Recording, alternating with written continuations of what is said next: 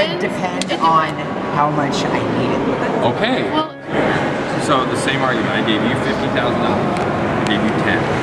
Okay.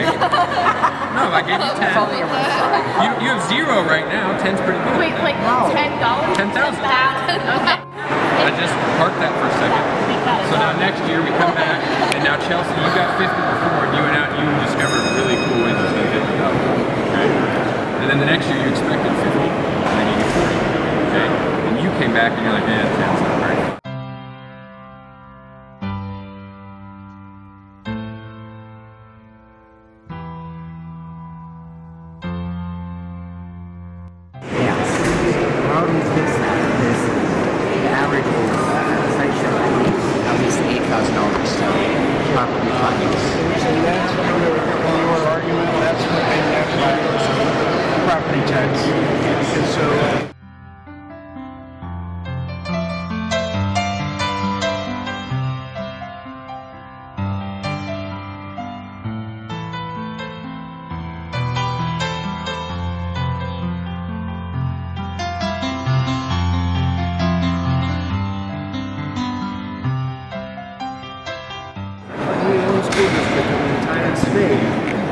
some money over and above that formula, and that's the Chicago School District.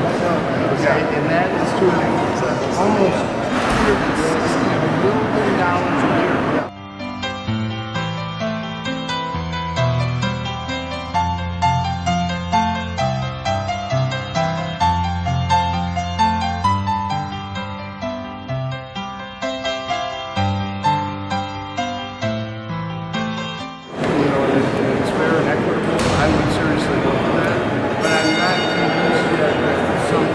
than nothing.